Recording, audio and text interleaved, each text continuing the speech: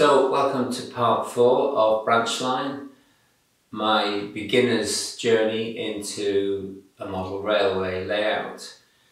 And in part three, um, which is kind of the first half of this section, I talked a bit about thinking about the design of the layout and how it would work for me and what I wanted it to do and how I went about planning the track.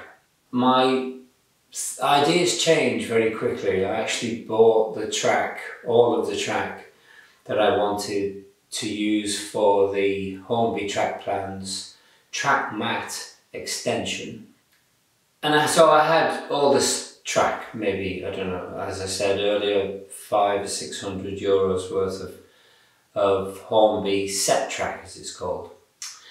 And then I went on to a forum, RM Web. Some of the guys on there were really helpful in designing a layout for me using more or less all of the track that I bought. And this is the track plan from Kris on the RMWeb forum. So things I've learned about that, take your time, when you're putting the track together, make sure all the pieces fit together.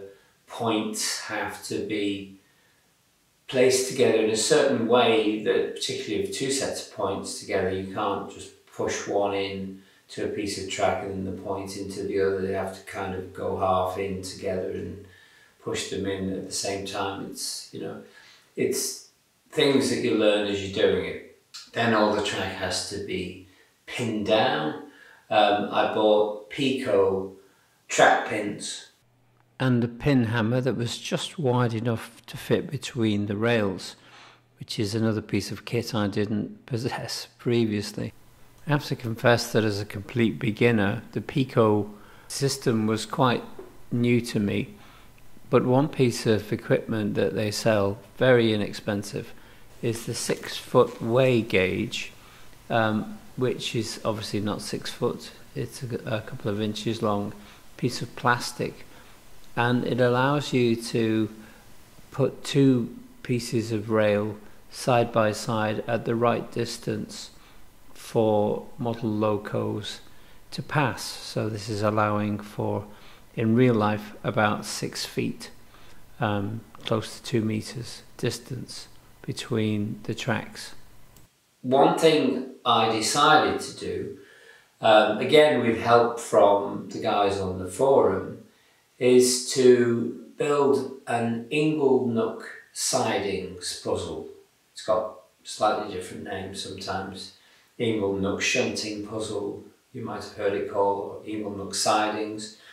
And it's basically three sidings of certain lengths and they're used with a certain number of wagons and one loco.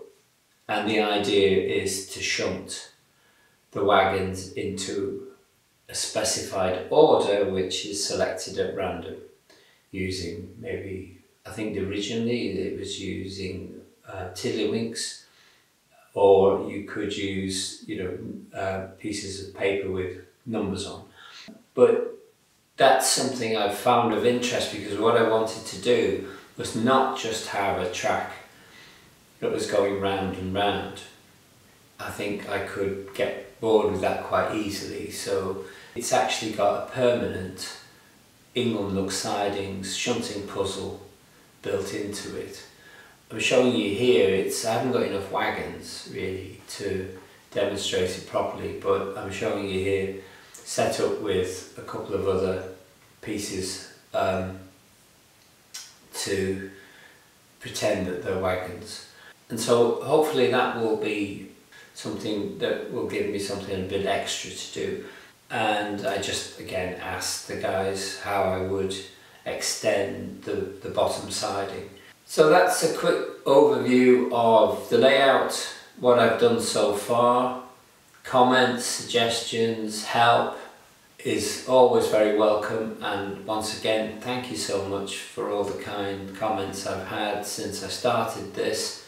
I know it can be a bit rambling sometimes, but I hope you're getting something from me sharing my journey, if you like, into building this model railway and the things I've discovered already, the learning I've had, which is really something that um, I find very helpful for me. I like being on learning curves.